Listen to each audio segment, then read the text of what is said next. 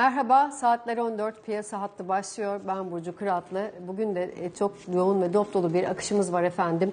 Kısaca özetleyeyim. Bugün e, Barem e, Ambalaj Genel Müdürü Metin Kaya bizimle birlikte olacak efendim. Daha sonra İbrahim Şişman'la sohbet edeceğiz. Info Yatırım Analisti. Ama önce bugünün gündeminde neler var, fiyatlamalarda neler öne çıkıyor? Bir kısaca göz atalım üstünden geçelim isterseniz. Bugün malum Japonya'da Boj Merkez Bankası ilk defa negatif getiri eğrisinden çıkıp e, faizleri arttırdı ve küresel piyasalarda bunun hala yankılarını sür, sürdüğünü görmekteyiz. Diğer taraftan bu hafta e, Merkez Bankaları haftası demiştik. E, Fed'in toplantısı da bugün başlamak üzere yarın kararını alacağız. Ama biz tarafına baktığımız zaman bugün dünkü kayıplarını bir miktar daha bir miktar telafi ettiğini görüyoruz Borsa İstanbul'un. Özellikle bankacılık endeksindeki %4'lük yükselişin oldukça dikkat çekici olduğunu söyleyebiliriz. Sınai endeks %1,5 yükselişte, maliye endeksi ise %2.2 yükselişte olduğunu şu anda takip ediyoruz. BIST hizmetler endeksi 8366 puanda %1.46 yukarıda, turizm endeksi 1272 puanda yaklaşık %2 yukarıda. Ulaştırma endeksinde bugün endekse katkı verenler arasında olduğunu söyleyebiliriz. Bu arada bir son dakikamız var. Hong Kong Çin'in kontrolü artıran yerel güvenlik yasasını kabul etti. Ee, diğer taraftan paritelere baktığımız zaman dolar TL'de 32.34'ten işlemlerin geçtiğini görüyoruz. Binde birlik yatay bir yükseliş olduğunu görüyoruz.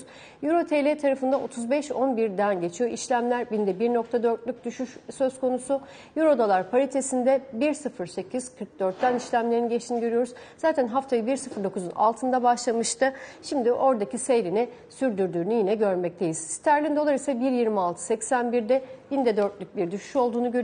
Dolar endeksi ise 104'e yaklaşmış durumda. Buradaki hareketlenmenin etkisinde biraz da e, FED toplantısı olduğunu söyleyebiliriz. Diğer taraftan borsalara baktığımızda Avrupa borsalarında şu anda İngiltere hariç risk iştahının yatay olumlu olduğu bir gün yaşadığımızı söyleyebiliriz.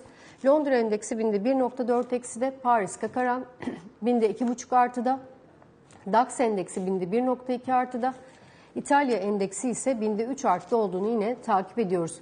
Diğer taraftan FED gününde Amerika vadelerine baktığımız zaman Dow Jones vadelisi binde 2 e, aşağıda olduğunu takip ediyoruz. Nasdaq vadeliler binde 4 civarında aşağıda 18.161 puan Nasdaq şu anda.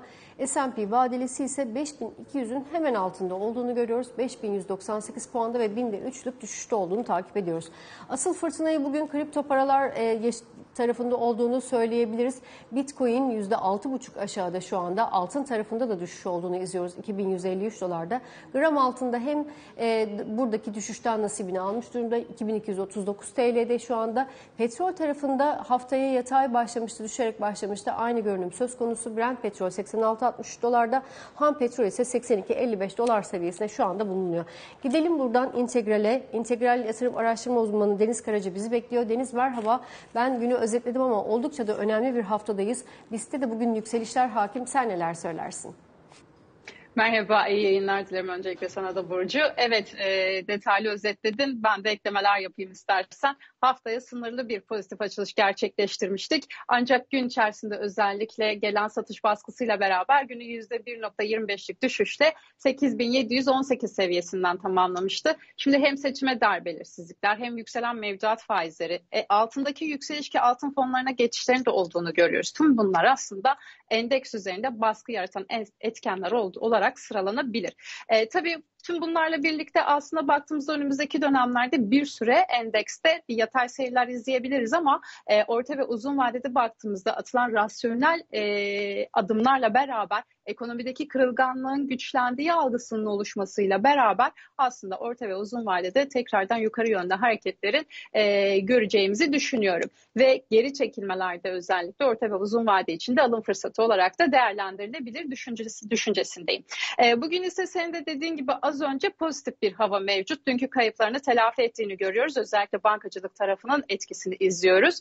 E, öte yandan e, Merkez Bankaları haftasındayız. Evet e, yarın FED faiz kararını açıklayacak. Powell'ın vereceği mesajlar, açıklamaları piyasaların seyri açısından oldukça önemli olacaktır. Perşembe günü ise içeride Türkiye Cumhuriyeti Merkez Bankası faiz kararını karşılıyor olacağız. Beklentiler faizlerin sabit bırakılması yönündeki merkez değişiklik kararı almadan önce Mart ayı enflasyon verisinde bir görmek isteyecektir diye düşünüyorum. Teknik anlamda bakacak olursak eğer risk iştahının azalmaya devam etmesiyle beraber 50 günlük ortalamasına denk gelen e, 8735 seviyesinin altındaki kapanışlarla beraber 8650 seviyesine doğru bir geri çekilmeler yaşayabiliriz. Ancak 8000 e, ancak 50 günlük ortalaması olan e, yine o seviyenin üzerindeki kapanışların da üzerinde gerçekleşirse eğer bu sefer 8900 bölgesine doğru da yükseliş denemeleri görebiliriz.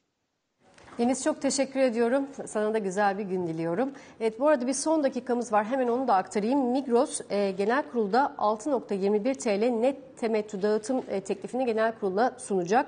Ve eğer onaylanırsa 29 Mayıs 2024 tarihinde temettü ödemesi yapılacak. Evet buradan dönüyorum e, stüdyoya. Değerli konuğumla birlikteyim. E, Metin Bey hoş geldiniz yayınımıza. Baran Ambelaj Genel Müdür bugün bana eşlik ediyor yanımda. Nasılsınız? Çok teşekkür ederim. Gayet iyiyim. Sizler de iyisiniz. Ben deyim. Çok teşekkürler. Şimdi e, bilanço dönemindeyiz. Malum az önce de bir anons ettim. Şimdi 2023 yılını genel anlamda sizden dinleyeceğim ama e, 2023 3. çeyrek sonunda e, kısa vadeli yükümlülükler 734 milyon TL.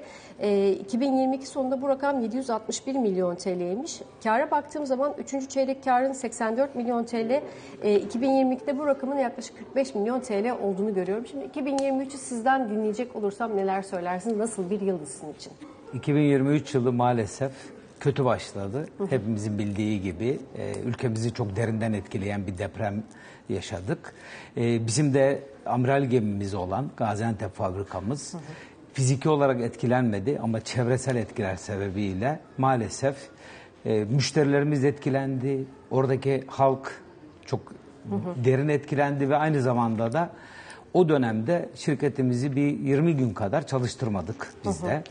Ee, onun etkilerini yıl içerisinde atlatmak için diğer fabrikalarımızda daha yoğun çalıştık. 2023 yılı o anlamda bir nebze kendini yeniden tamir etme ve e, hataları, problemleri elimine etme, çözme gibi algıladık. E, fakat yıl içerisinde yaklaşık olarak %5 oranında tonajda büyüme sağladık.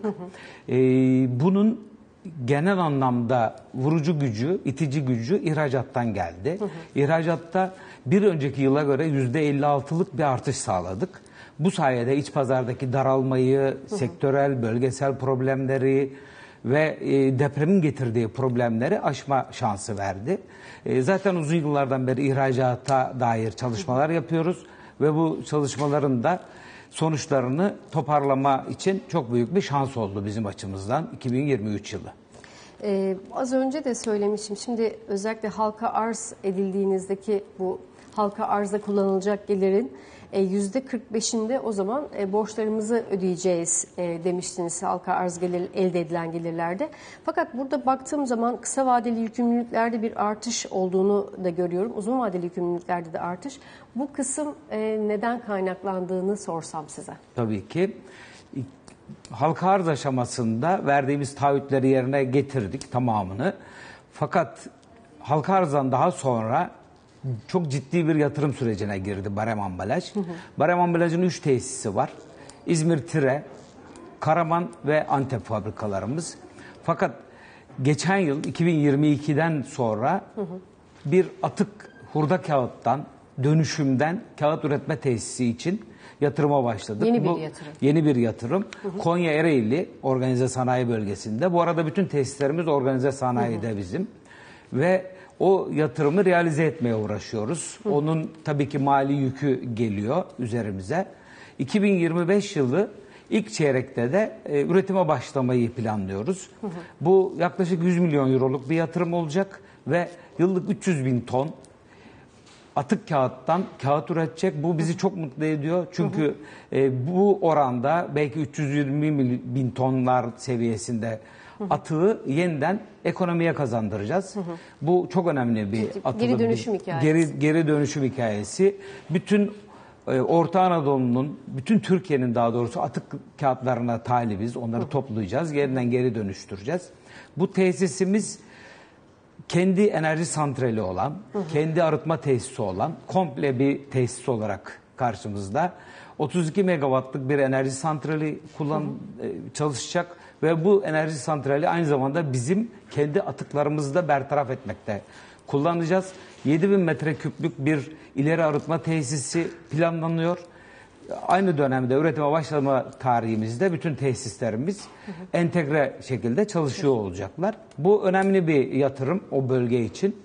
Ee, tabii ki bunun mali olarak yatırım e, karşılığı mutlaka bizim finansallarımızda sizin de bahsettiğiniz gibi gösteriyor kendisini. Fakat şöyle e, özetleyebilirim. Yaklaşık 50 milyon euroluk bir büyüklükten bahsediyoruz. Barem ambalajın şu andaki e, büyüklüğünü. Eğer bu tesisimiz 2025'in ilk çeyreğinde devreye girdiği andan itibaren bu 200 milyon euroluk bir büyüklüğe uğraşacak. Bu reel günün fiyatlarıyla. Ee, bu çok ciddi bir zıplama baremin bilançosunda. O yüzden de hepimiz bütün e, arkadaşlarımız, ekibimizle çalışıyoruz. Yaklaşık 930 kişi çalışıyor barem ambalajda. E, yeni tesisin e, ilk kadrolarıyla beraber. Yaş ortalamamız 35. Gençler. Çok genç bir ekibimiz var. Ee, herkes full yeni e, projemize odaklanmış durumda. Hepimiz aynı hedef için çalışıyoruz. Ne kadar güzel. Ee, peki bu anlamda enerji yatırımlarınızdan da az önce bahsettiniz. Şimdi sizin İzmir, Gaziantep ve Karaman'da bir e, GES yatırımınız olmuştu. Yaklaşık 3.6 megawatt yanılmıyorsam. Evet. Şimdi buradaki e, maliyetlerinize, enerji maliyetlerinize katkısı ne oldu ve bilançoyu direkt etkiledi mi maliyeti anlamında bunu da sormak isterim. Tabii ki 2022 yılı içerisinde 3 tesisimiz içinde maksimum kullanımla e, GES tesisleri kurduk ve e, şu anda full kapasiteyle çalışıyoruz. E, dönemsel farklılıklarla beraber yaklaşık %20 oranında enerjimizi GES tesislerimizden sağlıyoruz. Bu bizi çok mutlu ediyor. Çünkü yani yenilenebilir enerji konusu bizim için çok çok önemli. Geleceğe yatırım yapmış oluyoruz. Araya girer, girerek şunu sorayım. Tabii burada galiba tam kapasiteye ulaşıldı olarak anlıyorum. Başka bir e, yere şu anda GES yatırım yapmayı planlar mısınız o zaman? Şu aşamada yok. Ee, şu aşamada sadece yeni tesisimize odaklanmış durumdayız. Orada 32 megawattlık bir enerji santralimiz var. Ee, yine full kullanım esnasında 26-27 megawattlarla tesisimiz kendi enerjisini kullanacak. Geri kalanını da interkonnekte sisteme geri vereceğiz. Ee, bu aşamada GES yatırımımız yok ama ilerleyen dönemde mutlaka olabilir. Peki bir de e, şunu sormak istiyorum. Tabii siz ihracatçı bir firmasınız. Özellikle 27 ülkeye de ihracat yaptığınız e, gözüküyor. Bu anlamda e, geçtiğimiz yıl ihracatı değerlendirirsek sizin bilançonuz açısından nasıl bir yıldı ve bu yılda bu ihracat pazarlarının e, güçlü kalmasını bekler misiniz? Çünkü özellikle biz hani Avrupa pazarında da bir daralmayı konuşuyoruz. Aslında küreselde genel anlamda daralmayı konuşmuştuk. Siz bundan nasıl etkilendiniz geçen sene ve bu sene nasıl görünüyor? İhracat bizim için 2023'te gerçek anlamda bir çıkış kapısı oldu. Ee, bu alana zaten çok iddialı bir şekilde hazırlanıyorduk. Organizasyonlarımız bu şekildeydi. Ee, biraz önce de söylediğim gibi 2023'te ihracatta bir önceki yıla göre %56 büyüme sağladık. Bu sayede 2023'ü kayıp olmadan atlatabildik. O yüzden ihracatta gelecekle ilgili daha olumlu bakıyoruz. Özellikle MENA bölgesinde çok güçlüyüz. Kuzey Afrika'da kendi ofisimiz var Tunus'ta. Afrika'da e, yeni açılımlar ve içeriye doğru daha e, Afrika pazarını zorlamak istiyoruz. Batı Avrupa'da Afrika çok güçlüyüz. E, oralarda MENA yeni bölgesi. MENA bölgesinde güç, güçlüyüz. Batı Avrupa'da güçlüyüz ve her geçen gün daha da iyiye gidiyor. İlk bugün itibariyle year to date bakarsam yine geçen yıldaki rakamların üzerine %50 bir büyüme görüyoruz. iki buçuk aylık bir dönem içerisinde. Ee, ve Türkiye pazarındaki içerideki daralmayı mutlaka ihracatla aşacağız. Ee, Türkiye'nin en yeni ve yaş olarak e, modern tesislerine sahibiz. O açıdan ihracatla ilgili önümüz daha açık diye düşünüyoruz. Yaklaşık barem ambalajı 100 bin tonluk bir kurulu kapasitesi var. Bunun %65'ini yaklaşık olarak kullanıyoruz. Her türlü talebe anında cevap verebilecek organizasyonumuz ve makine parkımız hazır. O açıdan da güçlüyüz ihracat pazarında.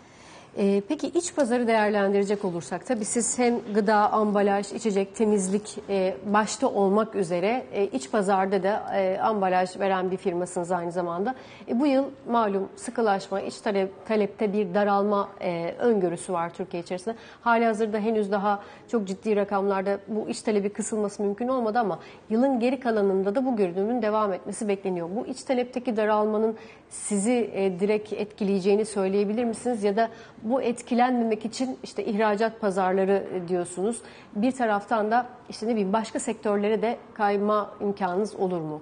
Şöyle barem ambalaj aklınıza gelebilecek her alanda ambalaj üretiyor. Yani biz kedi kumu da üretiyor, kutusu da üretiyoruz. Kedi maması da üretiyoruz. Bütün gıda tesislerinde çalışıyoruz. Türkiye'deki en büyüklerle çalışıyoruz. Ee, mesela beyaz eşya için üretim yapıyoruz. Ee, ambalaja giren her alanda varız biz. O yüzden de tek bir sektör olmadığı için de iç pazardaki daralmadan da olumsuz yönde etkilenmiyoruz ve onu realize edebiliyoruz. Fakat tabii ki ülkede bir sıkıntı olduğu zaman mutlaka bu düşüşü veya daralmayı biz de hissedeceğiz. O yüzden de zaten ihracata çok önem veriyoruz. İhracat pazarlarına arkadaşlarımız, satış departmanlarımız her gün seyahatlerde bulunuyorlar. Oralardaki yeni pazar araştırmalarına giriyoruz. O yüzden biz kendi adımıza baktığımızda çok olumsuz bir etki görmüyoruz. Zaten şu iki buçuk aylık dönem içerisinde de e, çok iyi bir başlangıç yaptık. E, geçen yılın çok çok üzerinde oranlarda büyüme sağladık. Bu anlamda peki e, tabii şu şöyle diyebilir miyiz? 2024'ün ikinci yarısından sonraki bunu şu yüzden söylüyorum. Özellikle bu işte faiz indirimlerinin de başlanması, küresel piyasaların biraz daha rahatlaması ekseninde 2024 yılının ikinci yarısı daha iyi geçiyor olabilir mi yoksa sizin için böyle bir şey fark etmiyor mu hatta? İkinci yarıda ben de bir iyileşme bekliyorum. Kendi e, adımıza, şirketimiz adına ve ülkemiz adına. Çünkü zaten şu anda yaşanılabilecek en kötü noktadayız. Artık dibi gördüğümüzün kanaatindeyim. Kendi kişisel fikrim. Faizler maksimuma e, çıktı. Mutlaka bir iyileşme gelecektir. Ben Türk ekonomisine e, inanıyorum. Bu konuda inancım tam. Çok krizler gördük öncesinde de. Çok kısa zamanda düzelme olabileceğine inanıyorum. Özellikle sektörümüz için bakarsak ikinci çeyrekte okulların açılmasından sonra bizim sektörümüzde bir hızlanma olur. O da hep e, yılı olumlu. kapatmayı sağlar ve ben de olumlu bir ikinci çeyrek bekliyorum açıkçası. Bu arada maliyetleriniz, ham madde maliyetlerinizi de sormak isterim. Az önce enerjiyi konuştuk. Ham madde maliyeti açısından böyle bir kur e, riski taşıyor musunuz? E, genel olarak ham maddeyi tedarik ettiğiniz pazar iç pazar mıdır, dış pazar mıdır? Bu anlamda bir risk taşır mısınız? Ya da e, şunu da ekleyerek sorayım aslında. Borçlanma deniz kısa vadeli yükümlülükler arttı. Finansman koşulları ile ilgili şu dönemde zorlandığınız oldu mu? Finansman koşulları herkesin malumu. Arttı E, Faizler arttı ve paraya ulaşım azaldı. Bu konuda barem ambalajının bir sıkıntısı yok ama sektörel olarak baktığımızda bununla ilgili ilk alarmlar gelmeye başladı maalesef. Umarım çok daha kötüleşmeden bu ortam yatırım yapılabilir hale, iklim e, gelir diye düşünüyorum. Fakat ham madde tarafına gelirsek Bizim sektörümüzün ana ham maddesi kağıt ve karton. Ee, bu konuda dışa bağımlı değiliz bu aşamada. Fakat diğer maliyetler, işçilik maliyetleri, enerji maliyetleri, ham madde maliyetleri, tedarikçilerimizin ham madde maliyetleri sebebiyle mutlaka artış olabiliyor. Tabii. Ee, geçen yıl yaklaşık olarak %20 dolayında bir artış oldu kağıt karton fiyatlarında. Bu yıl ilk çeyrek içinde söylüyorum %25 oranında artış oldu. Geçen yıl sektör bu artışları maalesef son kullanıcıya, nihai kullanıcıya aktaramadı. Pazar daralması sebebiyle. Bu yıl içinde aynı sıkıntı var. Fakat artışların devam edeceği yönünde de bir algı var. Piyasada da var, bizlerde de var o algı. Bu e, önümüzdeki dönemde de devam edecek. Maliyetlerin getirdiği baskı sebebiyle yoksa bir kur riski yok, orada. E, iç pazardan karşılıyoruz. Anladım. E, Metin Bey çok teşekkür ediyorum. Yayınımıza katıldığınız ve sorularımızı yanıtladığınız için ayağınıza sağlık diyorum. E, Barem Ambelaj Genel Müdürü Metin Kaya bizimle birlikteydi efendim. Şimdi kısa bir araya gidiyoruz. Daha sonra kaldığımız yerden devam edeceğiz.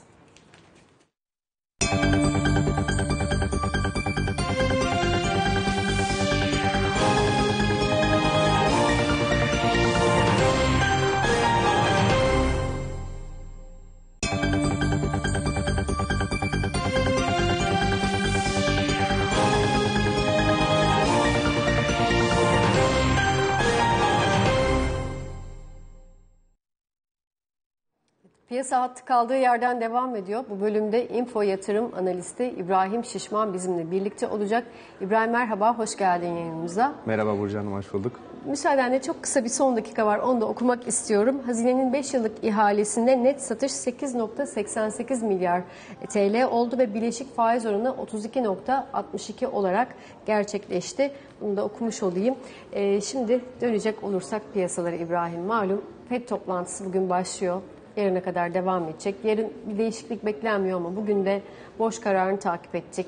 İşte İngiltere Merkez Bankası'nı haftanın geri kalanında takip edeceğiz. Nasıl bir haftadayız küresel anlamda? Neler oluyor yurt dışında? Taşlar nasıl dağılıyor? Aslında baktığımızda yani yılın en yoğun haftası diyebiliriz. Merkez bankalarının e, yoğunlukta faiz kararını açıklayacağı bir hafta ki aslında kararlar 3 aşağı 5 yukarı belli ama burada önemli olan metinler e, ve FED'de, FED'den gelecek olan e, artık faiz indiriminin bir adı konulup konulmayacağı e, birçok şey aslında bunu e, bekliyor diyebiliriz. Çünkü e, yıl başında olan e, işte yılın devamında 3 kez faiz indireceğiyle dair Fed'in e, bir mesajı vardı ama piyasa biraz daha fazla e, iştahlıydı. Haliyle bu dengeyi e, tam anlamıyla güdemedik ama şu anda birazcık da piyasa beklentisiyle e, Fed söyleminin örtüşeceğini de söyleyebiliriz. Ya bu toplantıda peki bu yol haritasına daha daha net bir mesaj görür müyüz sence? Aslında net bir mesaj göremeyiz çünkü enflasyon da diğer taraftan artmaya devam ediyor. Yani Amerika tarafındaki enflasyon bekledikleri gibi gitmiyor. Beklentilerin üzerinde gelmeye Tabii. e, devam ediyor. Avrupa bölgesi bir miktar daha bu anlamda iyimser.